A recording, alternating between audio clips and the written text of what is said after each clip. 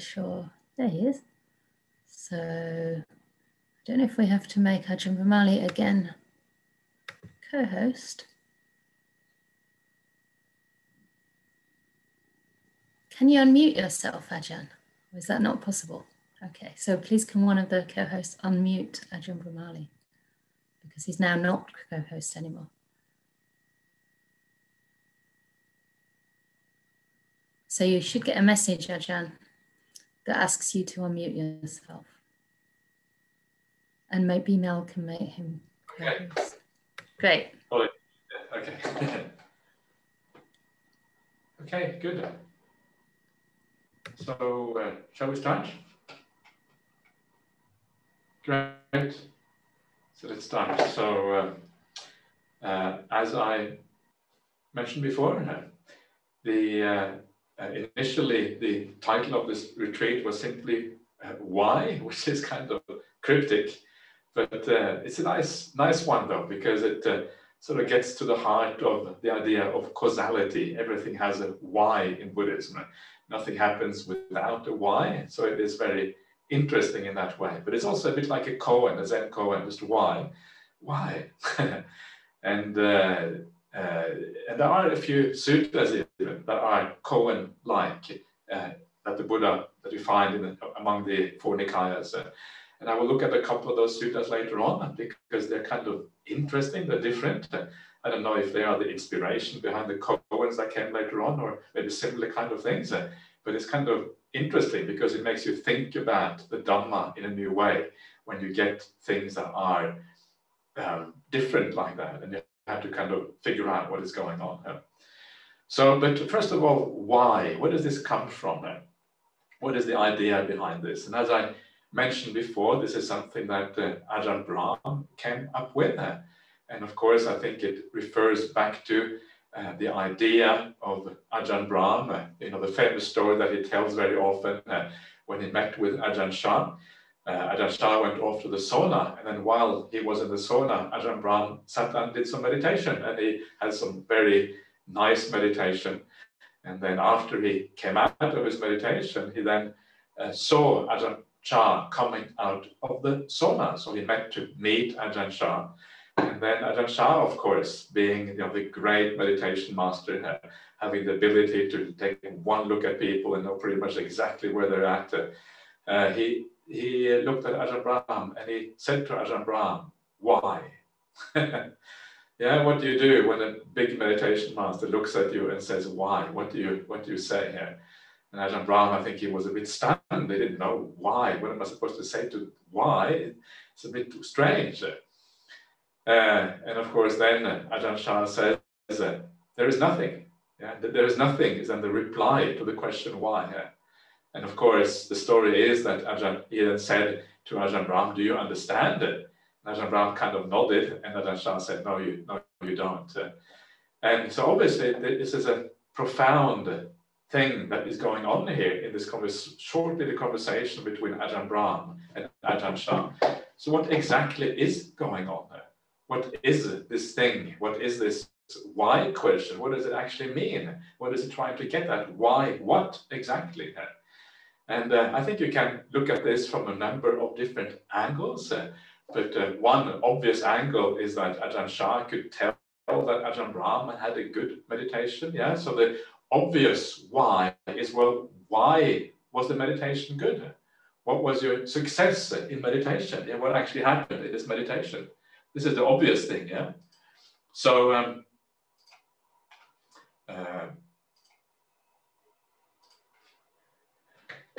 and um, so how does that answer the question there? why, why does there is nothing answer that question about good meditation practice? What is the connection there between the two? And uh, I think the obvious answer is that meditation happens when you let go. Meditation happens when there is no sense of self. Yeah, there's nothing there which kind of gets in the way for meditation to happen. It is always the, not always, but usually the, the doing of the mind and the um, you know, all the activities that we produce, the sense of self which wants to defends itself, you want to be somebody, you want to have an identity, and all of these kind of things. And this is what often blocks our ability to meditate. So why? Why is the meditation good? And the answer is, well, when you let go of that sense of self, if not completely, at least partially, then the result of that is that meditation starts to happen. I think this is a very important part of what is going on here. So um, that's kind of fascinating, right? It's a, it's a very it's a profound search, a, a profound idea about letting go of the sense of self, which really is happening here. But I think there's also another aspect to this, and this is kind of the maybe the larger picture of why, and that is the picture, the thing that we're going to come to in a in a second uh, when we start looking at the suttas in a in a few moments, and that is the why of suffering here. Yeah, why is there suffering here? why are we in this predicament? Why are we here in the first place? Yeah. And that the answer to that question is actually very similar to the answer of the question of why is meditation going well? The answer is that there is no one really in charge. There's no one who can control the world to make the world happy, to make the world just right. And, we should kind of get that after a while, but uh, because we always try and it never really works out. But somehow we can't get that we don't really, the penny never really drops that uh, the reason why we can't get it right uh, is because we are not really in control. Uh, control is outside of our grasp. and this, again, is related to this idea of non-self. we're not in charge. there's no sense, there's no one here who has the ability to kind of work these conditions out in such a way that we can be happy whenever we want to and we don't have to suffer when we don't want to. It doesn't work like that. So if it doesn't work like that, well, how exactly uh, does it work? Why do we suffer in this world? Uh? And uh, the answer, of course, is because of conditionality. Uh. And that conditionality is expressed in Buddhism through dependent origination. Yeah, that is basically the teaching about why suffering arises in the world. And if you understand dependent origin, origination in the right way, then you will also realize that that teaching includes a very a profound statement on non-self, which is actually embedded in that teaching here. It shows conditionality, and it shows conditionality in such a way that it actually precludes the idea of a self the self is kind of banished from dependent origination. It's causes all the way down. Yeah, it's like turtles all the way down, or whatever they say. This, this causes all the way down. There's no end to the causes, going back and back in time uh, to the uh, as far as you would like to go. Uh, and there's nothing there which is inherent to this process uh, that carries on through it. So that is the answer, and that is why this is interesting, why it plays into what we are going to talk about now. So, um, suffering, yeah. So, um, uh, we're going to talk about suffering, its causes, and then we're going to talk about the solution. The solution is going to be the most part of this retreat, but to set the scene for the solution, I want to talk about the problem first of all. And uh, the very first little extract of suttas that I have uh, uh, chosen here, which is part of the sutta that was sent out to everyone. Uh, this is a short extract, the standard definition of suffering uh, in the Four Noble Truths. Yeah, this very first sutta here, you can see if you have it in front of you, it has SN 5611. And 56, SN is the Samyutta Nikaya, the uh, connected discourses of the Buddha. 56 is the chapter, if you like, and 11 is the sutta number. And this is the very famous sutta on the setting in motion, the wheel of the Dhamma, yeah, traditionally regarded as the first sutta uh, the Buddha spoke. And for that reason, very interesting, because you can imagine that the very first sutta is where the Buddha kind of lays down the ground plan for what the Dhamma is about. Now he's going to express his new discovery for the first time, and is going to obviously express that in a way that is meaningful for a first time audience. So it's easy to understand what this teaching is, is about. So this obviously is very special. Um, I should say that the translation that I have here is a translation by uh, Bhante Sujato. Uh, so it's a little bit different from maybe what you are used to if you're used to Bhikkhu Bodhi's translations. But uh, I think it's nice to kind of vary translations a little bit. Uh, so I thought it would be uh, nice to have a look at this translation for once and, and uh, to see, we'll take it from there. So this is the setting in motion the wheel of the Dhamma, and this is the first noble truth, the noble truth of suffering. Yeah. So how does the Buddha define suffering?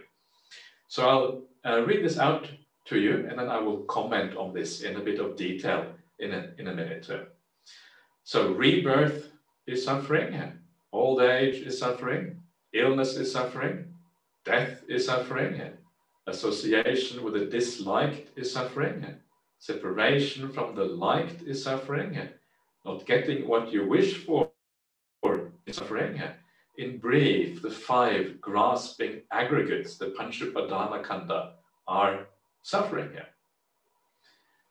Yeah, this is the standard exposition of the First Noble Truth. I'm sure you've heard it many, many times before, but uh, these are the kind of teachings that really are worthy of a lot of contemplation because what you will find is that these things can be seen in many different layers and many different degrees, many different depths, and it's always good to try to see these things in a slightly deeper way.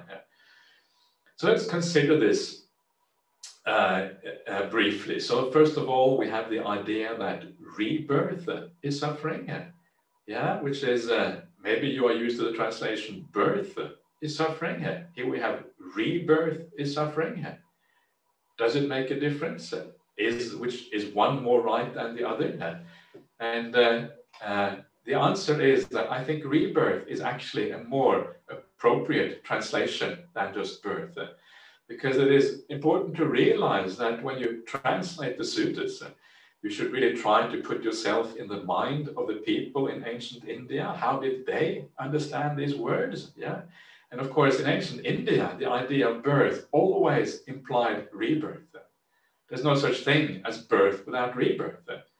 So when they heard these words, they would have a different meaning from what they would have to us. So even though the Pali word jati really can be translated quite fine, quite fine as, as birth, uh, the implication for the audience would always have been rebirth. So if you want to get the meaning out of these things, uh, you have to put yourself in the mind of the people who heard these teachings uh, and translate the meaning rather than be too concerned about the literal uh, literalness of the word. So I think rebirth is appropriate in this context. And of course, it, it kind of adds something very important uh, to this whole idea of suffering. Rebirth is suffering is one of the big themes in the whole of Buddhist teachings. Yeah, the idea of carrying on, moving on from life to life. In fact, it is specifically said elsewhere in the suttas uh, that rebirth is suffering, freedom from rebirth is happiness. Uh, it's one of those fundamental teachings in the suttas. Uh, yeah, so this is kind of one of the main themes. Whereas birth is suffering, yes, we can make sense of that. Of course, there's a lot of, no doubt it's painful to get born as well, but rebirth is suffering fits much better with the whole kind of general thrust, if you like, of the Dhamma, the way it is presented in the suttas. And also it makes very good sense because uh, the idea is to overcome suffering. What is the kind of birth we can overcome? Obviously, it is future birth. We cannot overcome the birth that happened in this life. Too late, we're in this mess already yeah, I can't get out of this mess. So now it is a future mess that we have to deal with. So let's see if we can do something with that future mess instead. So I'm not going to dwell too much on that because um, I think that is a theme that most of you will be quite uh, familiar with. Then we have the idea that old age is suffering, yeah, which kind of makes uh, makes sense. I think uh, again, I'm not going to dwell too much on that. Um, Uh, then we have idea of illness is suffering, yeah, and uh, you all know the idea, of course, that illness is suffering, and uh, I, I, always like the, and, and, this is a very useful way of thinking about it, and this I always say this on these retreats, and maybe it's probably all you heard it umpteen times before, but this is that nice way that Ajahn Brahm puts the idea of illness is suffering. Yeah, when you go to the doctor because you are sick, and instead of saying to the doctor, "Oh, doctor, something is wrong with me, I'm sick today," instead you should say, "Doctor, doctor, something is right with me. I'm sick again today."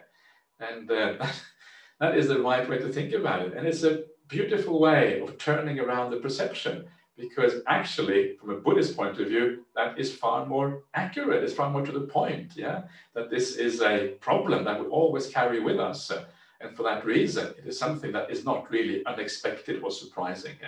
And if you get into that kind of way of thinking, uh, that nothing is wrong when you have uh, illness, uh, it actually tends to say something about life, about the nature of suffering, uh, and about the nature of the solution to that problem.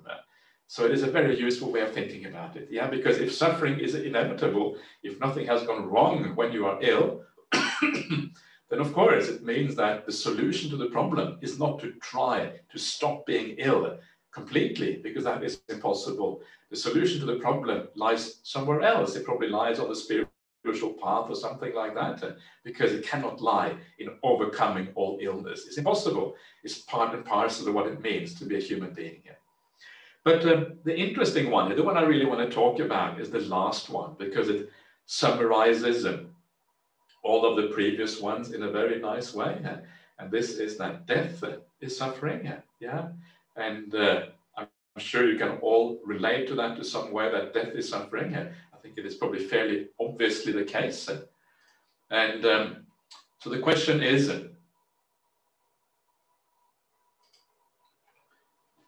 uh, what do we make of this death being suffering? In what sense is death suffering?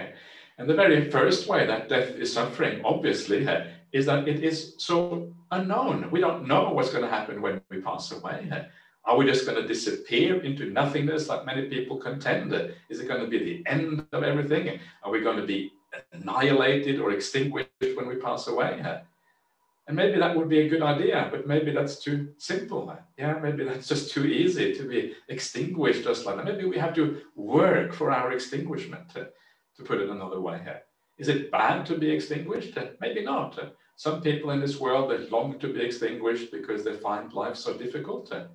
So uh, that is a matter of perspective, uh, whether it is bad or not.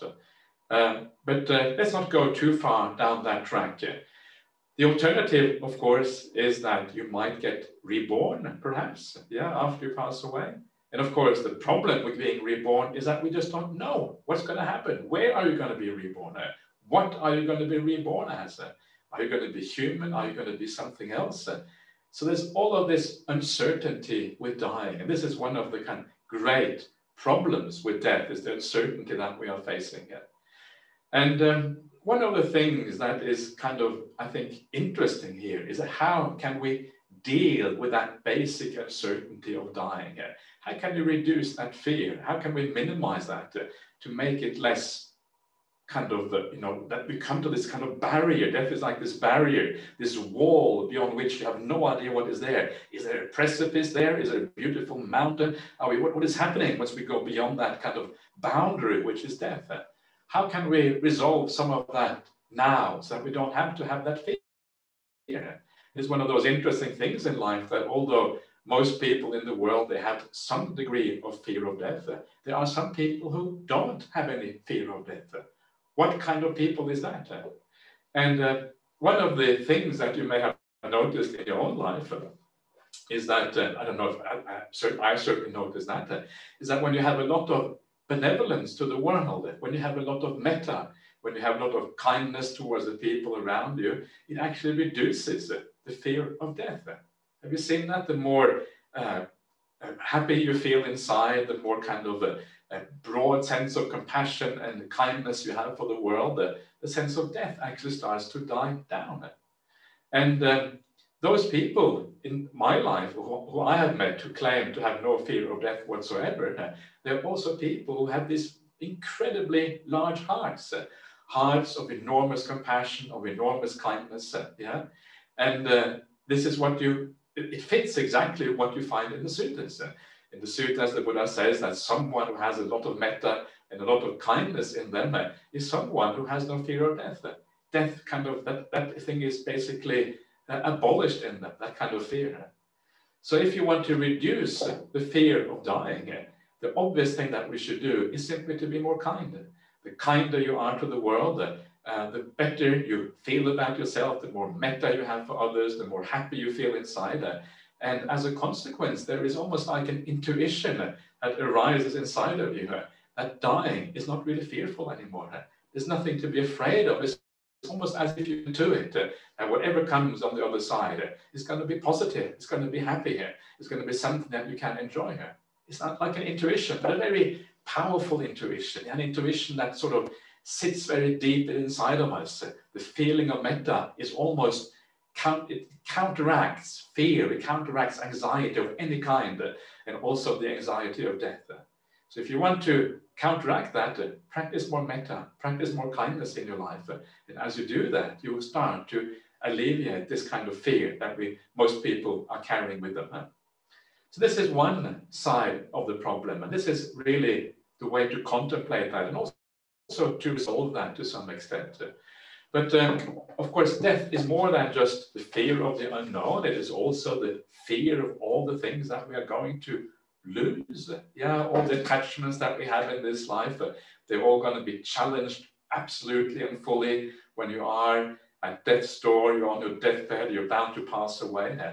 And those attachments are manifold. Yeah, they are, of course, our attachment to our possessions, our attachments to all the relationships that we have, yeah. And then you have your attachments to your identity. So much of our identity is tied up with this particular existence, yeah. Your gender, your education, your social status, all of these kind of things, your nationality, all of these things are tied up with uh, uh, this existence right here and now. And all of that is going to be taken away from you is going to be challenged when you are about to pass away. And that, of course, makes death very kind of uh, worrisome. Yeah? The more we identify with the things of the world, the more attachments we have with this world, the more problematic the dying process is going to be. Yeah? And one of the interesting things here is that this whole idea of being attached to things and giving things up uh, is very similar to the problems we face in meditation practice. Yeah, in meditation, one of the you know the attachments that stop you from going deeper uh, are precisely things that uh, you know have to do with this world. The more you you think about the things of this world because you are attached to them, uh, all of that is going to stop you from going deep. Yeah, in your meditation practice, uh, and including your sense of identity. Who are you? Yeah, all of these things that block you, and you start thinking about out. And sometimes you want that identity to come back. And because you fear losing your identity, that sense of attachment to who you are encourages often thinking in the meditation practice. And of course, that becomes a serious problem. So the idea, what happens when you die, and what happens when you have su success in meditation practice, these two things are very closely related to each other. And that is why the idea of death can be so useful in meditation practice, because it leans the mind in the right direction. It leans the mind towards letting go, yeah, of, of obviously all the things that we own in this world, of our relationships, but even of our sense of who we are, even our sense of identity starts to fade in meditation practice. Yeah, and uh, so using the idea of death and using that contemplation can actually encourage you to go deeper in meditation practice. And it's surprisingly beautiful. Yeah, I, you know, we cherish our identity so much. Very often we take pride. Yeah, we take pride in our nationality, we take pride in our our accomplishments in this world. And it's okay to do that to some extent. Yeah, I shouldn't kind of discourage this completely. Yeah? But uh, it certainly becomes a problem when you go deeper in meditation because if you attach too much to those things, uh, then it becomes really problematic. And what you find is that when you give up these things, uh, when you give up that sense of identity, uh, and you kind of feel what that feels like by going through a death meditation or whatever it is, uh, it just feels so delightful. Not just delightful, but there is an emptiness that comes with that. Where you feel empty inside. Yeah, you are no longer male or female. You're no longer, I don't know, Norwegian, yeah, or or British or Australian or, or, or whatever else it is that you might be. Yeah, all of those things don't really apply anymore. You're no longer educated or uneducated. There's this beautiful sense of emptiness inside. And all that is left in that empty mind inside, as you give up these things, uh, because you know that they block your meditation practice, uh, all that is left is this uh, beautiful state of peace. And if you encourage the meditation in the right way, that peace is imbued with delight, with joy, and, and all the other beautiful aspects of meditation instead. So it's extraordinarily powerful. Yeah. And when you start to see this, uh, you start to understand that this whole idea of identity, of being someone, yeah, and which is so much encouraged in our culture. You've got to be somebody. You've got to create an identity for yourself. Be proud of what you have done. Work hard. Create a sense of self that is marvelous or whatever. All of that is really so misguided. It is misguided because there is something far more powerful in this world, far more beautiful, which is the emptiness inside. And this emptiness inside, you can encourage through the death contemplation. Uh, then bring that death contemplation into your ordinary meditation practice, uh, and you will find that you move more easily to emptiness, uh, to the mind which doesn't think, which doesn't uh, proliferate endlessly about all kind of things, revolving around the sense of self, revolving around cravings, and all of these kind of things. Uh, so um, if we use uh, the death contemplation this way here, it can become a very beautiful and powerful tool in encouraging the meditation in the right direction. But uh, it is much more than that. Uh, death contemplation, yes, it can be useful in meditation, but it is also useful as one of the very uh, foundational aspects of the Buddhist path that starts us out in the right way, makes us reflect about the world in the right way, and guides us not only in meditation, but in everything that we do. Yeah, day to day life, uh, if you remember that you're going to die, what happens? Well, what happens is that you start to treat people in a new way. If I knew that tonight was the last time I was going to see you, all of you, yeah, Venerable Canda and every one of you, how, what would I do? Would I treat you badly if it was the last time I was going to see you? Of course not. I would want to have a nice, pleasant goodbye, say goodbye to everyone in a positive way, because it is just terrible to die with a heavy heart, filled with a sense of perhaps remorse and regret, and perhaps a sense of guilt because you have been silly, because you've acted in a bad way. So the idea of death actually makes us better people. It reminds us of the importance of living well in the here and now. It reminds us that there is you can never really afford to have any enemies in this world because death might come just around the corner. Makes you a more positive person, a better person as a consequence. I was just leading a funeral a couple of days ago. And uh, at this funeral service, usually when I do these services, I usually tell that story, that uh, another story from Ajahn Brahm. And this is a story from Thailand again, the story of Ajahn Chah, and the famous story where Ajahn Chah holds up a glass. And there's a large assembly sitting in front of Ajahn Chah. And he shows the glass to the assembly. And he says to the assembly, can you see the crack in this glass? I'm sure many of you, maybe all of you, will know this story already, but I'm going to tell it again anyway. Can you see the crack in this glass? And the audience looks at the glass. What? Why are you getting senile, Ajahn Chah? That's a perfectly fine glass. There is no crack in that glass. Ajahn Chah says, no, there is a crack in that glass. Because we know this being a glass, one day it will fall down on the concrete, fall down on the tiles or whatever it is on a hard surface somewhere. And when a glass falls down on a hard surface, it shatters into a thousand pieces. Why? Because that is the nature of a glass. A glass tends to end in shattering in a thousand pieces. So what does that mean? And what it means is that we care for the glass. We are careful. We put it down gently on a soft surface somewhere. We don't just smash it in the floor because if we smash it in the floor, it will shatter again in a thousand pieces. We care for it so that, that crack, which is already there, does not become apparent uh, until the time that it has to become apparent. We make it last as long as we possibly can. And of course, the idea here, the simile here, is that human life is fragile as well. We are all fragile. Yeah, this human body that we have is so uncertain. We have no idea how long it's going to last. Maybe there's a cancer working on the surface right here, right now. I have two family members who have died of cancer. Could I be next? Of course, I could be next. Absolutely. They might be working in here right now. I have no idea. And because of this fragility of the human body, yeah, because everyone is the same, man, it makes us care for each other because we understand that is the right thing to do when life is so fragile. And it's a beautiful story to, um, again, remind us of the importance of uh, the death contemplation, the fragility of life, and what that means for us. It means that we become more caring, more kind, more compassionate, more understanding of the people around us. And if that is what the death contemplation does to us, does to us then wow, it is so powerful. Yeah, and so, so incredibly useful.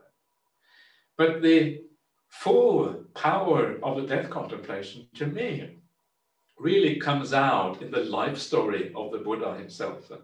And that is the story which I, I find so fascinating in so many ways. Because uh, uh, one of the things that I think is really understood is that the very foundation of Buddhism, the very reason why we have Buddhism today, is because one person, two and a half thousand years ago, contemplated death in a very profound way. And you may remember the life story of the Buddha, where the Buddha before, actually this is the Buddha to be, yeah, before his awakening, yeah, and he's contemplating life, and you find this in the suttas in a few places, uh, and he contemplates specifically about death, yeah, it, it, is, there's also mention of illness and old age, there, but death is like the thing that summarizes all of these things in one go, huh? yeah. And you find this in the Ariyapariyesana Sutta, Majjhima Nikaya 26, the middle length sayings of the Buddha. It is all there. And uh, the Buddha to be, he reflects, yeah, I myself am going to die. I myself have this problem for the future. And of course, death is problematic. Does it make sense for me, who is going to die, to accumulate other things that are also going to die?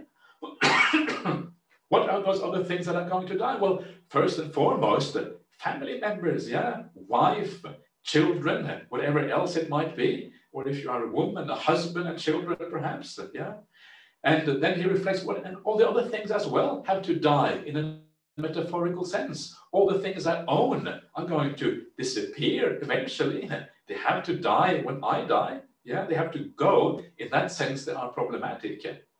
So if I'm going to die, if I have this problem, does it make sense for me to attach to all these other things that are have exactly the same problem to them? This was the Buddha's Buddha to be thinking before he passed away. And those were the thoughts that actually made, made him decide to become a renunciant, to leave the household life, and to practice uh, meditation to the best of his ability. It's kind of amazing, isn't it? It's such a simple idea. It's something that we are all faced with at all, all times. We all know that we're going to have to die, and yet we don't make that logical conclusion. There's a very serious problem here. You have to have some very special personal characteristics to be able to draw the full consequences of such a simple truth. And of course, it took a Buddha or someone who was on the path to becoming a Buddha to see this. And then, based on this idea of dying, which was kind of staring in his face, he decides to go forth. He becomes a monk. He practices for six or seven years or whatever it is. And then, as a consequence of that practice, he finds a solution to the problem of death, which is kind of amazing, isn't it, when you think about it? Finding a solution to the problem of death is the kind of the audacity of that, the audacity of saying death is a problem. I'm going to find a solution to this. Uh, leaving the house household life, going out and practicing on your own. Uh, there's something just uh, astonishing about that. Uh, and uh, that is when you realize it takes a kind of a pretty remarkable person to be able to even embark on that journey because it is uh, it's just mind-boggling the the sort of mind that is required to see these sort of things clearly.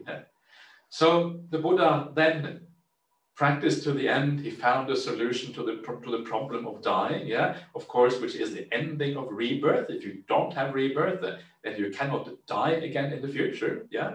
And then uh, that is the solution, and it comes back and it teaches the world about this problem, this thing that he he was uh, he um, had found.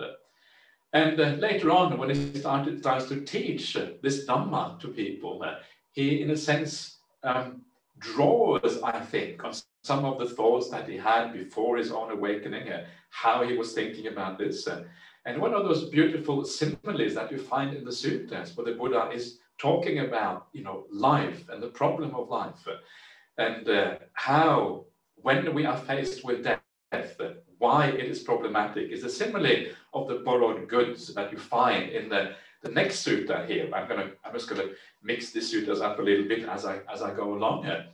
And uh, the simile of the borrowed goods is one of the similes that I always talk about on these kind of retreats because it is a very powerful way of thinking about the worldly possessions we have, the relationships we have, even the sense of identity we have, uh, is to remember that all of these things are borrowed.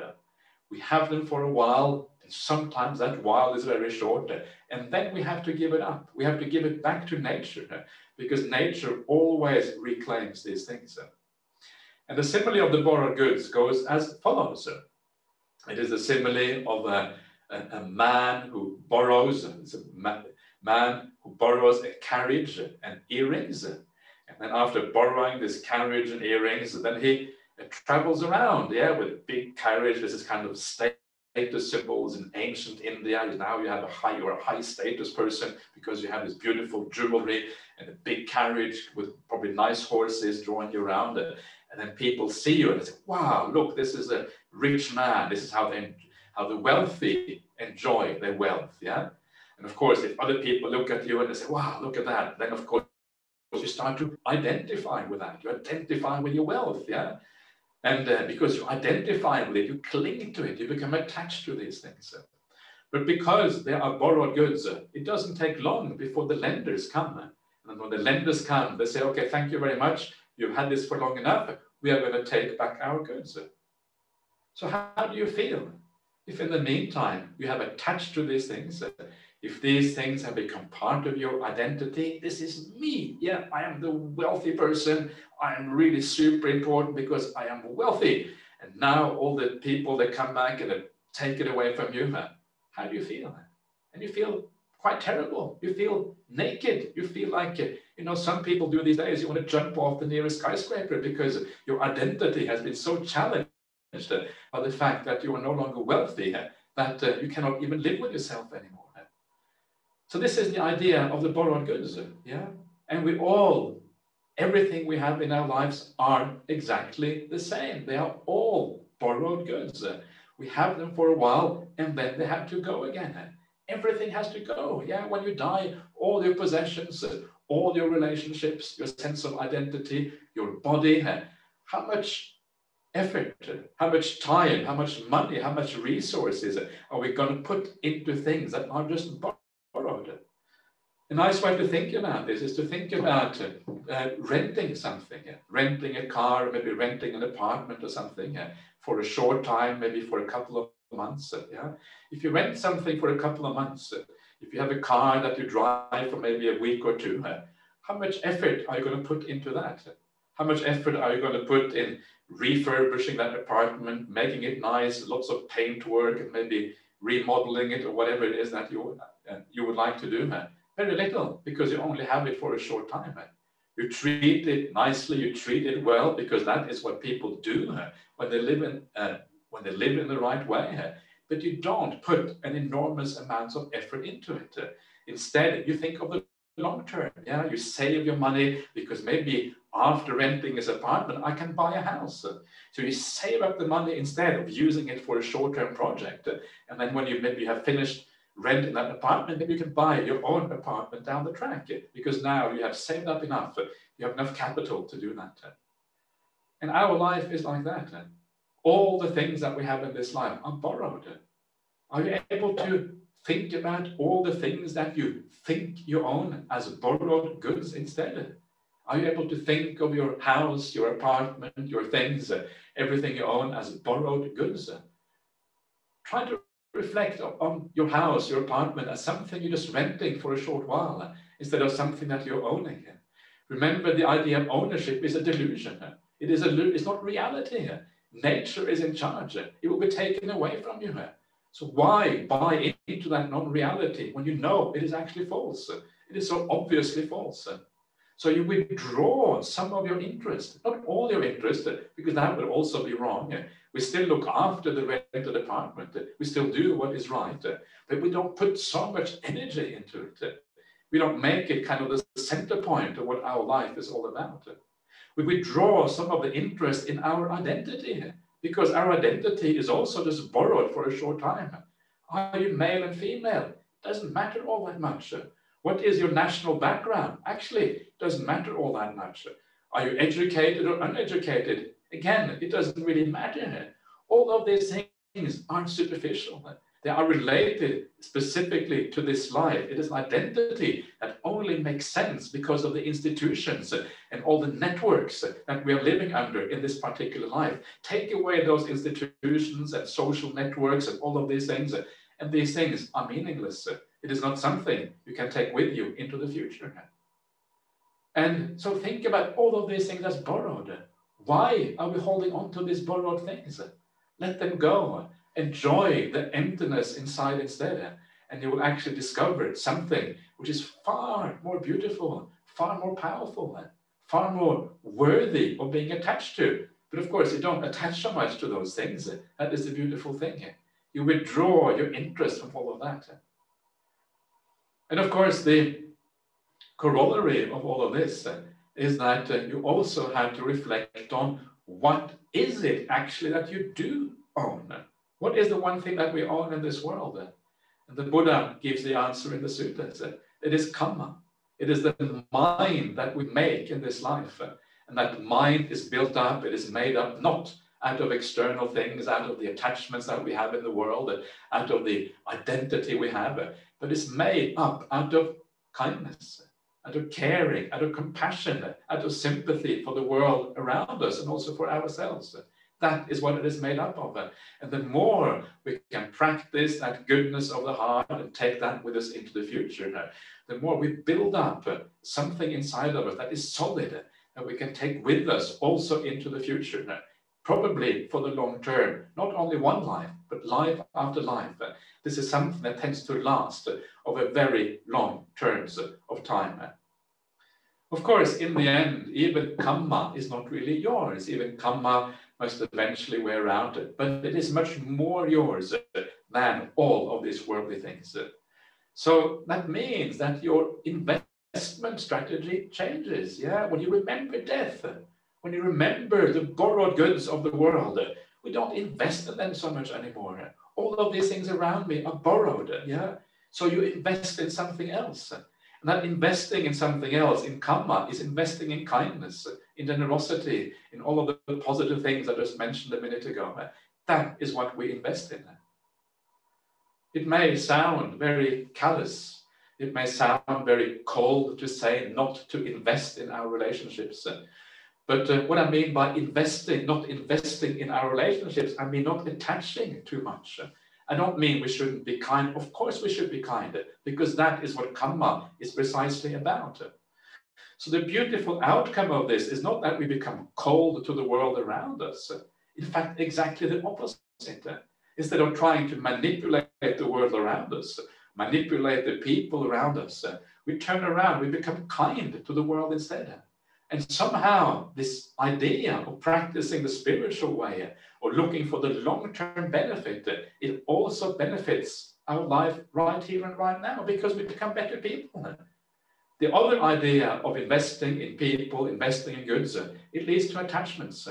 And when you attach too much, when you hold on to the world, and all of you probably know this at least to some extent, when you're attached to things, that is when you make mistakes.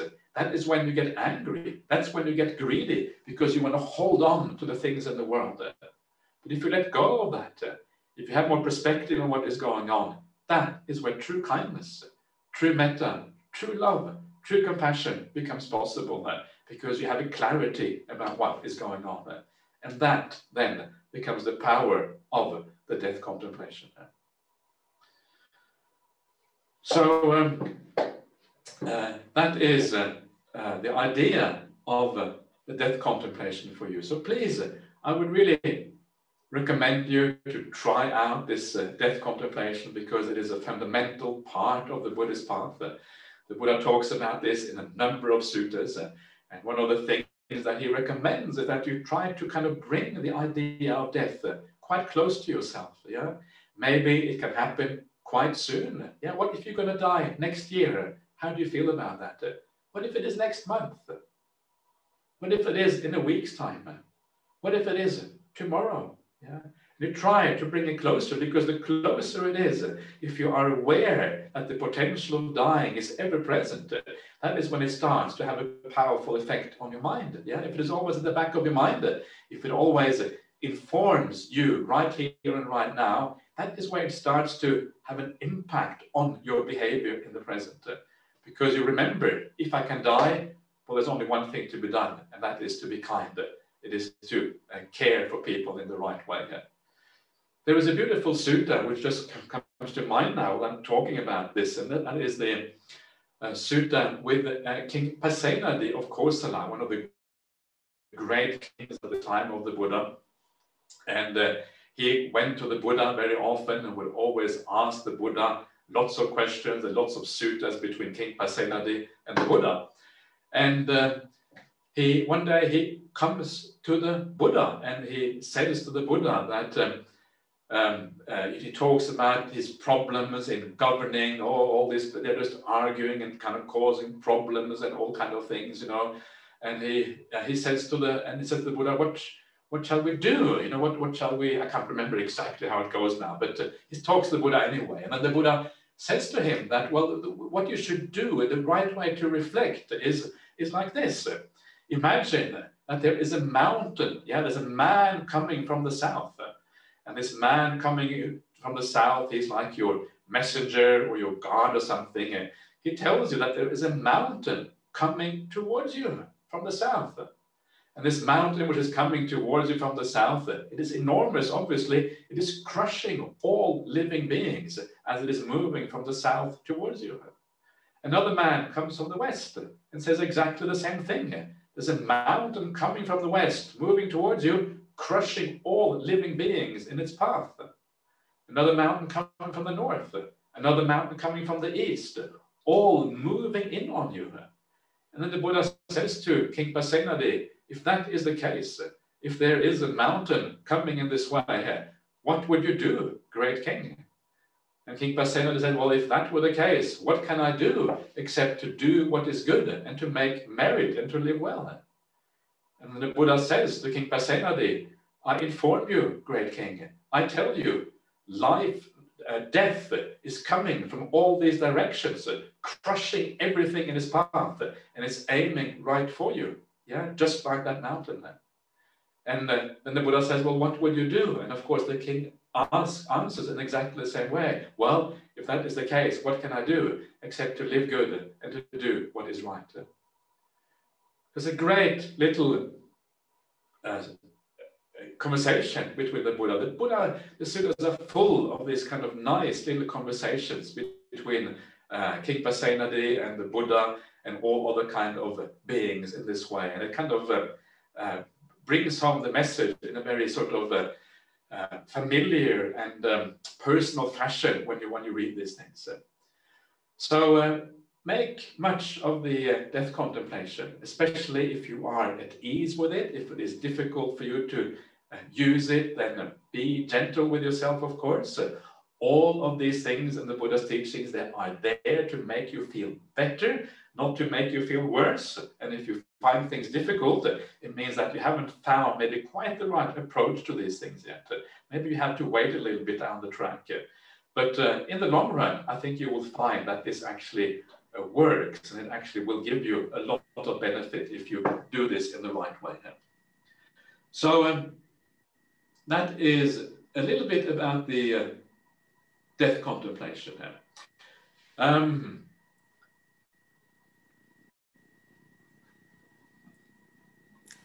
Ajahn, would it be a good time for some questions now, or would you like to yeah. continue? I think that's a good idea I think it's good to stop there. If I start something more, we're going to get into trouble. So please, yeah, let's do some questions there. Okay, great. Yep.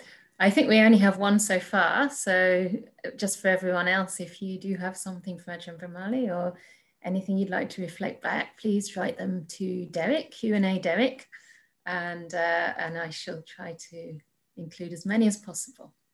So the first question we have here is, Dear Ajahn, can we say that letting go is very similar to losing the interest for things? Uh, letting go is similar to losing the interest uh, uh, for things. Uh, yes, it is very, very, very similar um, because uh, you know what you the whole point kind of letting go is that you understand that things are suffering. Yeah things are problematic. This is kind of the whole point of the insight of the buddha is to see the suffering in the world. And of course when you see suffering you lose your interest in those things that are are suffering. So very very much so. So uh, the, the, the thing though is to try to let go and to see this in a gradual fashion, not to do it too fast. And I know sometimes people try to kind of hurry things up and they try to contemplate everything as suffering in one go. All existence is suffering, everything is just terrible. And then they end up depressed and sad and they can't carry on. And uh, I have sometimes met people who have been so contemplated maybe the Dhamma in the wrong way without doing it gradually, kind of taking, lumping everything together. Everything is just terrible. And then, uh, as a consequence of that, they have ended up um, being precisely depressed and sad and suicidal, not seeing the purpose in life, uh, and uh, often just lying in bed all day, not really being able to do anything because of that. So you have to do it gradually. And uh, the gradual way of uh, uh, thinking about suffering, the very first one, yeah, the way to start, I would say, is to start with morality and is to understand the suffering of being immoral, yeah, of being of living in the wrong way, and uh, that already is actually incredibly useful. If you can make a lot of that idea that uh, doing the wrong thing is suffering not just for yourself but also for others, uh, if you can make that very clear in your mind, uh, then of course it becomes far far easier to live a moral and good life uh, as a consequence very often the reason why we do bad things, uh, the reason why we say things to people that are not very nice, uh, the reason why we might even even just thinking about thought about somebody is because we think that it is useful in a certain way. We think that it will lead to some kind of happiness. Yeah, if I tell them off, then they will change their ways, uh, and then things will get better as a consequence. Uh, but usually it doesn't work like that. And especially if that telling off comes from ill will and anger and all kind of negative states, it is really, really problematic. So it is very important to remember the power of kindness, to understand that it always leads to happiness, both for yourself and also for others. One of the things that I, uh, you know, one of the definitions of, if you like, the spiritual life, of um, uh, which I have always liked to use, is that any action or speech or thought is spiritual, or it's Buddhist, if you like it, if it is beneficial both for yourself and for others. Yeah, if it is good for yourself and for others, then you know it is a spiritual act. And that is the things that we should do. If it is only good for yourself, well, then it's kind of selfish. If it's only good for the other, well, then it's like you are sacrificing yourself for others, perhaps. Yeah, it should really be good for both, and it's a truly spiritual act. So look for that, and if you look for that, then you will um, find that you are, you know, you you let go of the uh, negative things because you understand the suffering in actually doing the negative things, and you do the good things because you understand the happiness of that. And then gradually you take it further. Yeah, you start off with the idea of morality. And if that doesn't work, and once you kind of get that established, and you start to understand the world as problematic. Yeah? Because the more you understand that the world is inherently problematic, the more easy it is to let go. And of course, the great thing about that is that you get access to something better. Yeah, this is kind of the whole point. The point is not just to kind of be sad about the world disappearing. The whole point is to get access to something more. And that's kind of what this is all about. So, and it is, and this is one of the, you know, the great benefits of the COVID situation.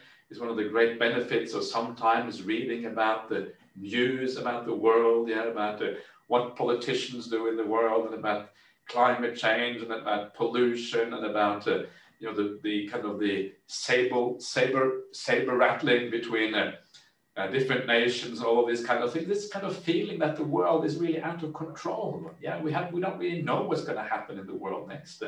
You know, we see the military regimes taking over in countries like Myanmar. We see kind of autocrats coming to power. Where is this heading here? And we just don't know. I'm not saying that it necessarily is all bad. It isn't. It's kind of always a mixed bag, but it's always so uncertain. It is always so unreliable. We have no idea. We have this hope in our hearts that the world is going in the right direction. But that hope is so often thwarted. We just have no idea what is really going to happen. So we have to be realistic about that world, and we have to be realistic about where real happiness can be found. And that, of course, is inside, away from that world, the place where you have a degree of control. Yeah. So again, this is uh, where you uh, where you let go and you let go of all of that. And as you uh, contemplate in the right way, it allows you that uh, letting go. It comes from understanding the problem of suffering uh, in the world. Uh, and then gradually it uh, moves in that direction. And over time, we take it even deeper. Yeah, over time it goes to even more profound levels. Uh, and this is where we come into the idea of non-self, where you give up things all the way to the core. Yeah, understanding the problems that a sense of self creates the sense of self creates enormous problems in our lives because it is the foundation for all attachments. All attachments emanate from the sense of self. So all the problems that we accrue because of attachments in the world, they come ultimately, they come back to this idea of a sense of self. So that too is what, what we ultimately have to let go of if you want to uh, go deeper. Great. Thank you, Ajahn. There's a few questions coming in now. So the next one. Dear Ajahn, can you please explain why the teachings are the meaning of life? Why? Does it say again? Why are the teachings the meaning of life? Oh, okay. Why are the, why are the teachings the meaning of life? Okay. It's hmm. obvious, isn't it? It's not meaning. I thought it was obvious. no, why, why are they? You know, the answer is very, I think it often stares us in the face. What you need to ask yourself is what is it that you want? What is it that you want in your life? Yeah. And uh, often we don't really, I think, reflect properly on this. So this is kind of part of the problem. So what is it that we want? What is it that drives you in your life? What is it that always, what is it that, that motivates you to get out of bed in the morning?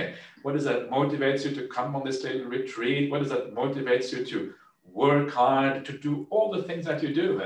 And everything that drives you in your life is this wish to move towards something positive and away from the negative.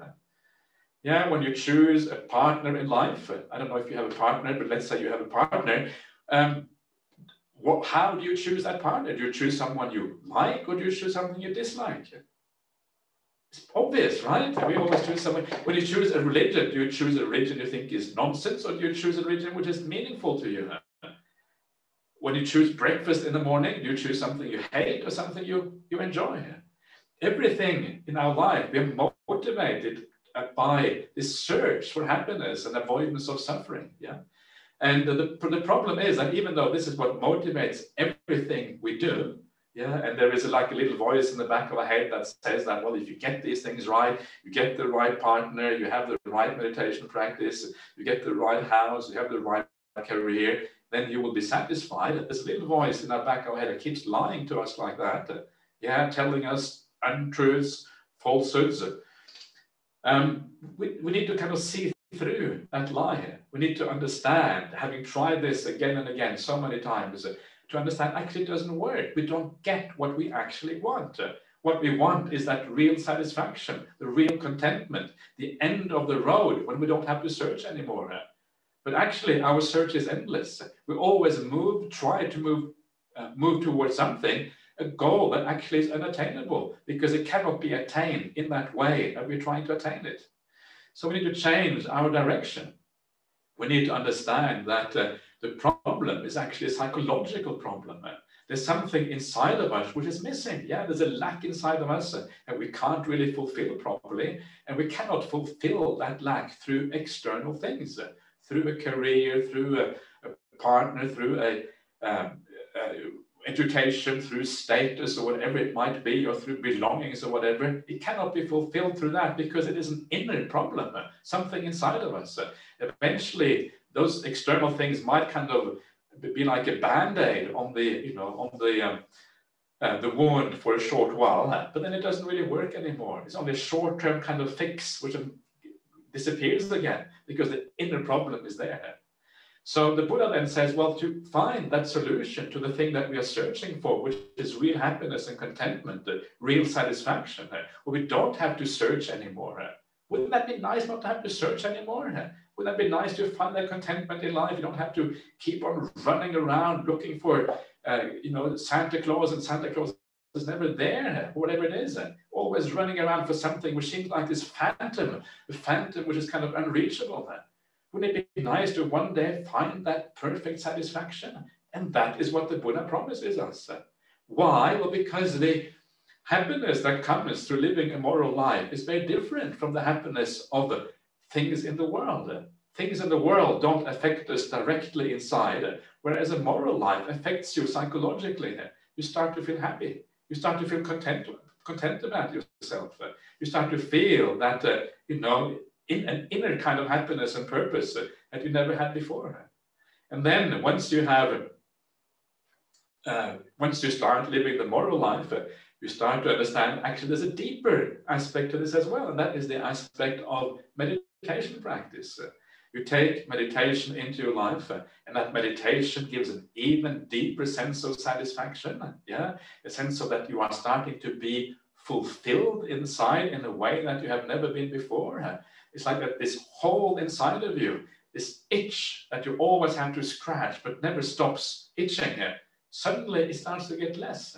Yeah, it starts to disappear. You start to feel a completely fulfilling and satisfying happiness inside of you that you never felt before. And this is, of course, the end goal, the end purpose of samadhi practice itself. Samadhi, when you attain samadhi fully, the idea of samadhi is precisely that uh, uh, there is no movement in the mind anymore. Yeah, there's complete satisfaction within yourself. There's no need to go anywhere else. Yeah, and that complete satisfaction in, inside of yourself when there's no need to do anything else, it means that craving and desire has come to an end. And the reason it has come to an end is precisely because you found the full and final satisfaction inside. And you realize, yeah, when you come to these kind of stages, you realize this is what I was looking for all along. This is what the sensory world, I thought the sensory world was promising me this, but the sensory world was lying. It wasn't telling me the truth. The world outside could never deliver that. I was looking in the wrong place.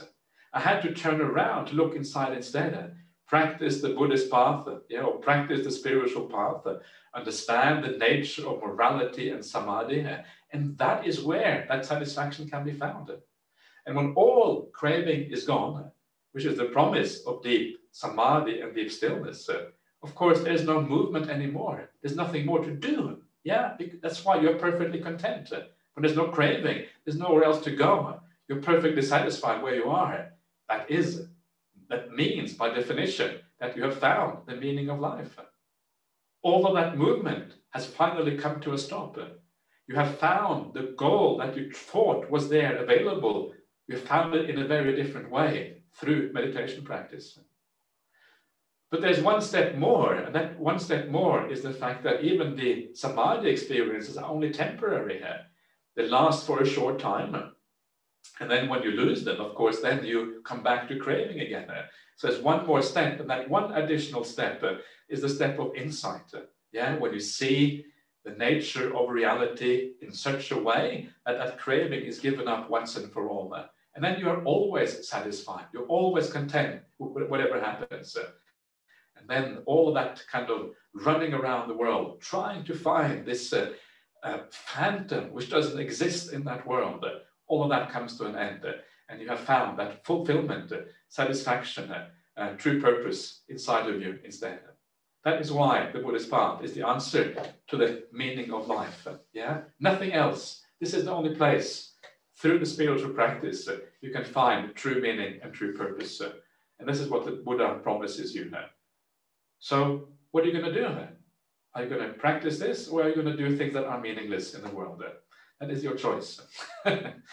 so please, yeah, try to.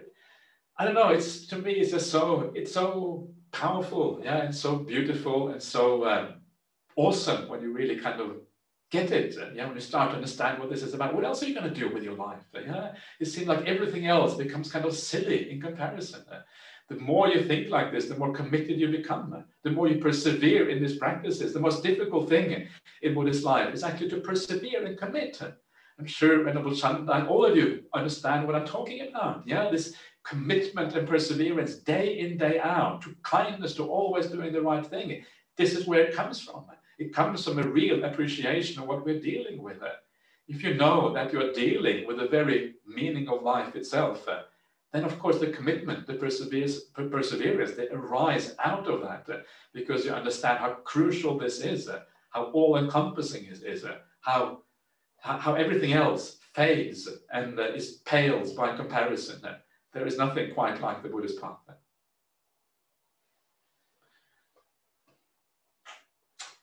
Okay. I'm muted. Wonderful. We've got lots of questions coming in. So um, I'm not sure we're going to get to everything. Uh, we'll do our best. There's a couple, two or three questions about fear. Um, someone's asking if metta is an antidote to fear, then what is the relationship between fear and ill will? And someone else is asking how to deal with the fear of not finding Dhamma again in the future. So, two slightly different questions. right. So, what is the connection between fear and ill will? Well, um, I, I, think generally speaking, if we, you know, people who have ill will also will tend to have fear because when you have ill will, we tend to see the world through our own personality. And if you have a lot of ill will yourself, you tend to see ill will in the world. And if the world has ill will, in other words, people around us have ill will, then the world is a bit more scary. Yeah, so we, uh, and, that could come from ill will in the past, or it could come from ill will in the present life. But it is a, I think there is a quite close connection between the two.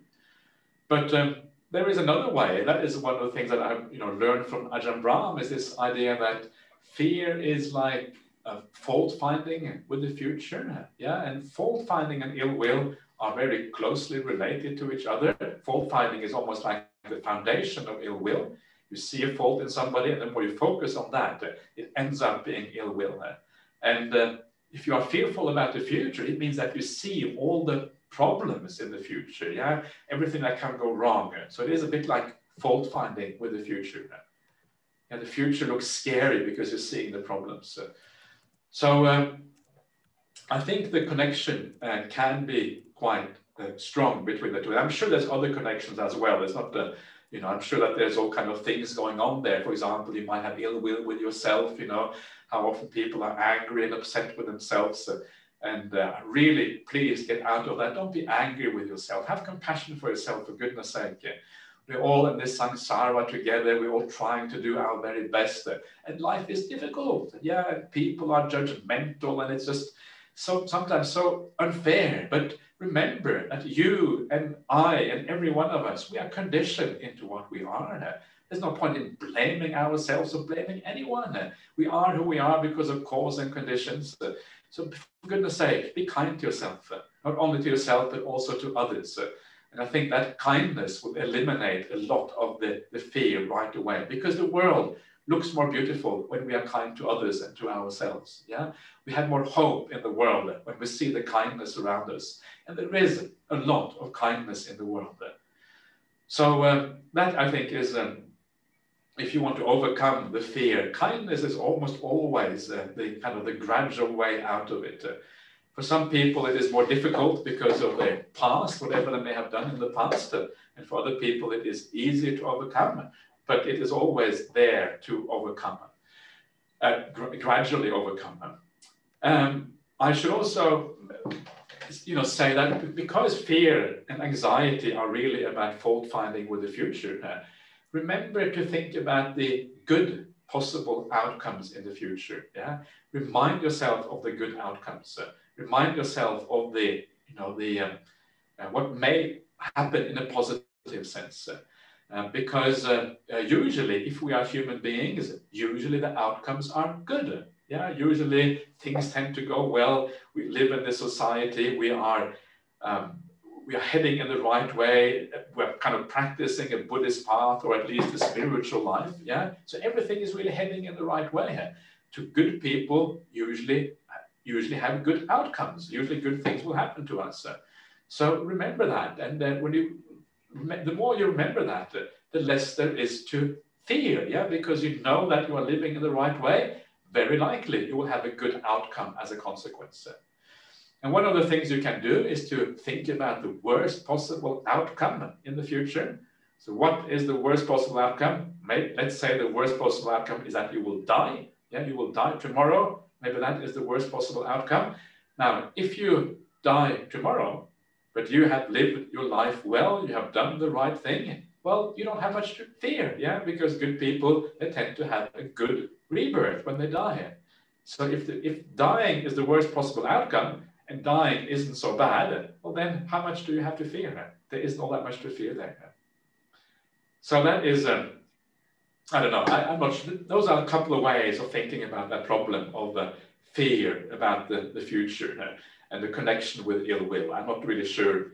Uh, I'm sure there's many, many other ways of thinking about that. Uh. but um, over to the other question, the fear about losing the Dhamma because uh, we don't know how long the Dhamma is going to be around. And that is, a, I think, a very important question. And I think uh, it is a, a, a, very pertinent. Yeah, the Dhamma seems to be declining around the world. If I'm going to, you know, say what I observe anyway around me, and um, the way to deal with that is to remind yourself that this is just the nature of the world. This is part of the impermanence of everything. Everything comes and goes, everything is subject, everything is out of control. The Dhamma is out of control. We have no idea how long it's going to last. But instead of being fearful about it, remind yourself that what it really means is that now is the opportunity here. Yeah, now is the chance now is the chance to live in the right way, to do what is good. So don't allow the fear to paralyze you. Allow that little bit of fear or anxiety to become a spur for practice. And by practice, I mean, don't necessarily have to meditate enormous amounts, uh, but be kind enormous amounts. Always be kind, always do the right thing. If you can allow that fear or that little bit of tinge of fear and anxiety to be stuck at the back of your mind to guide you in daily life, to make you head in the right direction, uh, then it can be very, very useful. Uh. So uh, I absolutely, I think that is a very, it's a good way of thinking. Don't be too fearful about it, but use it as something positive to guide you in the right way. Thank you. So I'm going to summarize the next question. So this person says that sometimes they use counting in the meditation, which helps the thoughts not to wander. And also they like the idea of metta, but they find it exhausting if they try to do too much breath counting or metta. Do you have any recommendations or suggestions for keeping the meditation practice um, in balance? Okay. Yes, it is exhausting to count the breath. And uh, the Buddha doesn't really recommend that. It's not actually found in the sutta. Is found in the, I think, in the Visuddhimagga. They uh, advise to count the breaths. You can stick with it. And uh, ideally, the um, what we really should ideally do is to uh, have enough mindfulness so that the mind sticks with the breath without having to force it onto the breath, force the mind onto the breath Then. counting is really just a technique of using force, yeah? Is to kind of fix the mind onto the breath. The mind doesn't have a chance anymore to go where it wants. And, and of course, it's going to be tiring, it's going to be exhausting because you are, it's like any kind of concentration exercise where you have to concentrate. It always is tiring at the end of the day. So ideally, what you want to do is to establish more mindfulness first. One of the things that we will see later on when we come to the Anapanasati Sutta and other suttas, is that the Buddha always says, establish mindfulness first. And if mindfulness really is established in the appropriate way, you don't have to count anymore because your mind will be present with the breath. Yeah. So this is kind of the uh, uh, the, ideal way of doing this. But uh, for many people, it does not work because mindfulness is not strong enough to be able to do that. If that is the case, basically what we have to do is we have to establish the foundation factors of the path more to enable us to be able to stay with the breath as it is, yeah, without counting, without forcing the mind and all of these kind of things. And then as those foundations become strong, it means we have less desire, less ill will, and we have to practice morality to a very deep level. Then and gradually that mindfulness becomes established uh, and gradually it becomes possible to do this. And in the meantime, uh, do meditations that work for you. Don't do things that are too difficult. Do meditations where maybe you are listening to a guided meditation that helps you to focus. Yeah. Do, as you say, metta meditation more because that also helps you maybe to focus a little bit. Uh, do shorter meditations. Don't use it as a, you know, especially in everyday life when you, uh, it's very hard to focus because your mind is tired already. Don't use the counting because what you're doing is creating even more tiredness. Uh, allow yourself to rest properly in that meditation and use short meditations with guidance or whatever it is uh, so you can actually relax properly during that time. It's so important to enjoy the meditation. Meditation should add value to your life, not subtract value from your life. Yeah, you should have a better life as a consequence of it. And then, uh, if you start your day with a little bit of meditation, then of course, and you feel better, it means you become a better person as a consequence. The same thing with the metta. Yeah, again, don't force it too much. And one way of doing that is to use maybe some guidance in your metta meditation, just a voice that reminds you instead of you reminding yourself. If you have to remind yourself, then maybe again, uh, it's uh, it's perhaps too much work. Yeah, I don't know. It really depends on the on the situation. Uh, but uh, try to make it natural, make it come automatically. Yeah, establish the mind in the right way. Get the mindfulness going first of all. Establish some positive perceptions in your mind. Metta comes from positive perceptions. Yeah, if you think about people in a positive way, if you see their good qualities, the metta arises more easily. Yeah? yeah, so establish your mind in the right way. Then do the metta meditation, and then hopefully it will be, it will be less arduous and less uh, difficult for you. Great. So there are a couple of questions about um, kindness and how do we know that if what we're doing is really kind? For example, even when we think that we're benefiting ourselves and others, and um, maybe we're not really. So there are a couple of questions like that. uh, don't set the bar too high. Don't try to be an arahant straight away. Yeah, it takes a while to become an arahant you know, be happy with being a experimenter or even less to begin with. So don't uh, don't try too hard. Try your best. Yeah. If you don't know, if you are uncertain about the purity of your motivations, then that's okay. Your motivations are not going to be absolutely pure straight away. It's okay to have grayish motivations. Yeah. Our job should be to move towards the lighter uh, spectrum of gray, lighter lighter shades of gray, and you're heading in the right direction. You try your very best, and then you learn as you go along. Yeah? You ask yourself, okay, what is my motivation in this case? Sometimes it's very obvious that you're being kind. Yeah. Sometimes it's just you know that you're coming from kindness. And other times, if you have doubts about, about it, you just do your best in that kind of situation. Sometimes it's obvious that you're not being kind. But that is what you want to avoid. So you just try to avoid that in the situation where you are, you know, where things are obviously not no good. So you lean in the right direction. And as you lean in the right direction, you gradually come to understand yourself. Yeah, you more and more you purify uh, your mind. Gradually, your, your motivation become more and more bright, and uh, so you keep on going in this way. You know, one of the things that I have often found myself is that um, uh, when we try to be kind, sometimes we try too hard to be kind without the feeling of kindness really being there. Yeah, you, you force yourself, okay, I'm going to say something nice to this person. You kind of grit your teeth and you say something nice, even though you don't really feel like it or whatever. And that is not very pleasant. It's almost like you're doing an act of violence towards yourself when you do that. You don't really want to do that.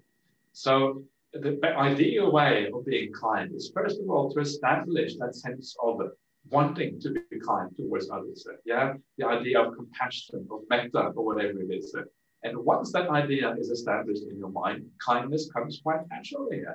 You don't have to force yourself. You may have to force yourself a little bit, but not so much anymore. So try to always see if you can have more.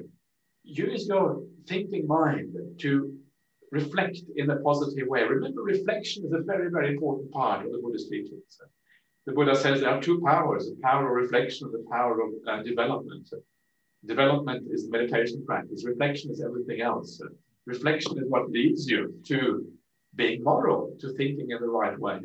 So use the power of reflection to look at people in a new way. Have more compassion for them. Understand that everyone is mired in suffering. We all have more suffering than we bargained for in this life. Yeah, I would like to hear from anyone on this retreat who has got enough suffering here. Please see me because that would be very interesting. Yeah. We all have plenty of suffering. And look at the people around you. Remember that they too have exactly the same problem. Of course, they're going to do funny things sometimes when we have suffering in our lives. It's just natural. Man. When you see people do funny things that may seem bad, and maybe you have to bear the brunt of some of that bad conduct. Have compassion. Yeah, have understanding for them. Be kind towards them. And once you understand, have compassion for them, then you can be kinder.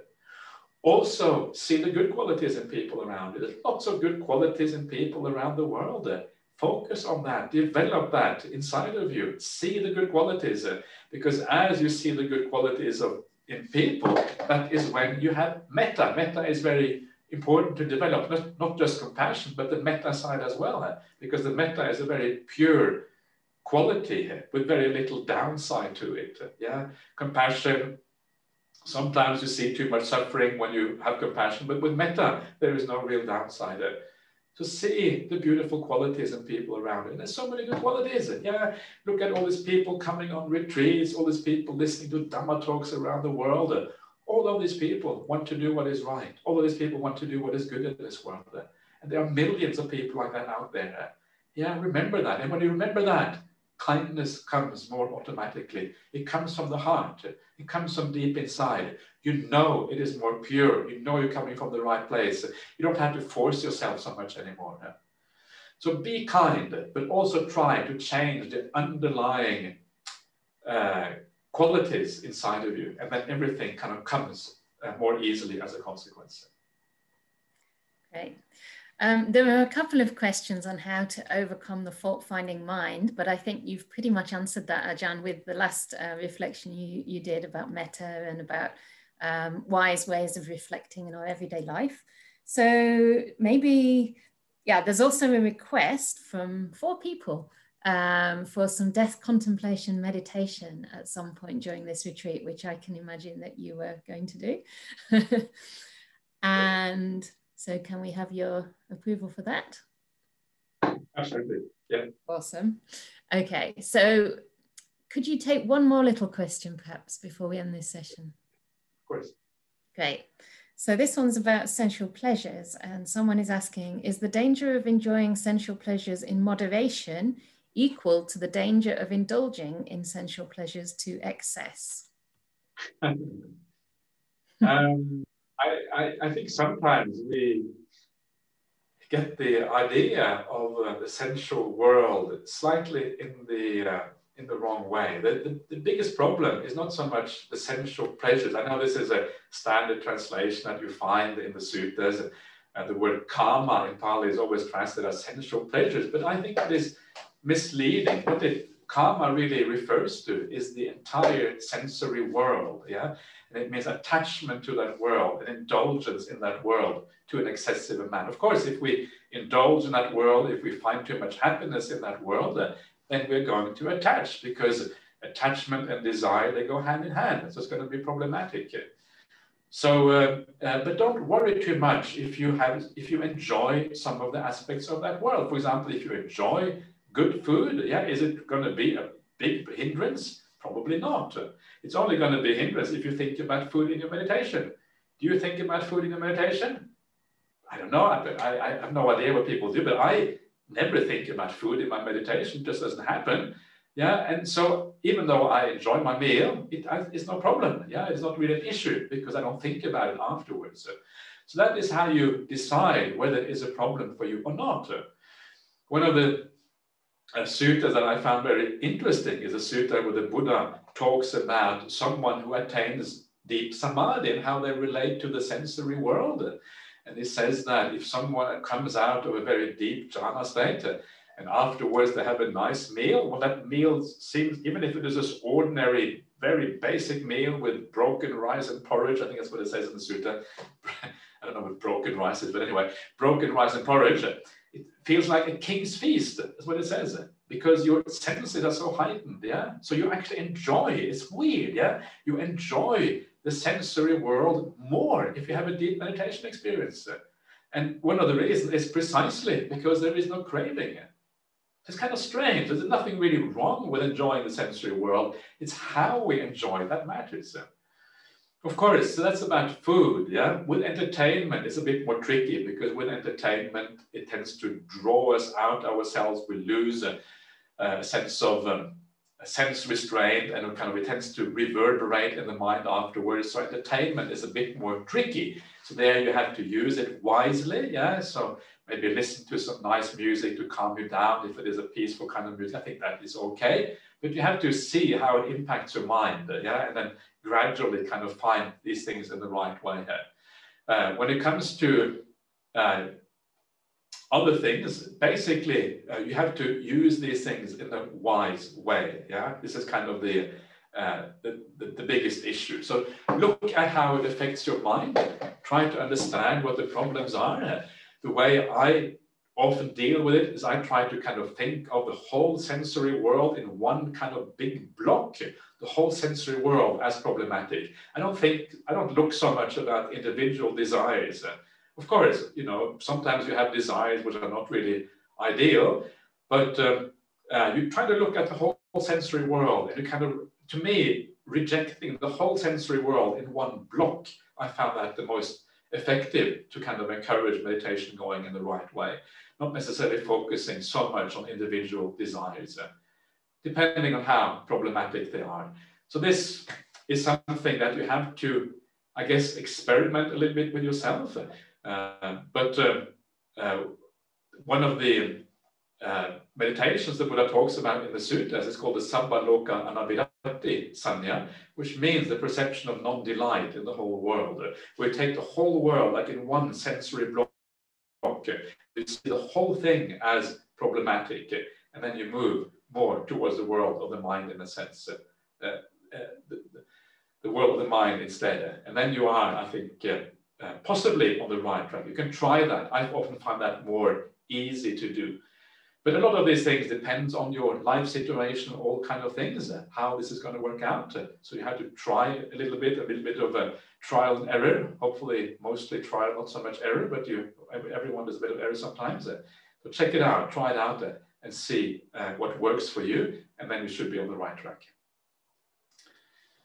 Okay. Okay. Sad. Sadhu, sadhu. okay. Wonderful. So thank you very much, Ajahn Brahmali. And uh, now is the time to uh, let you go.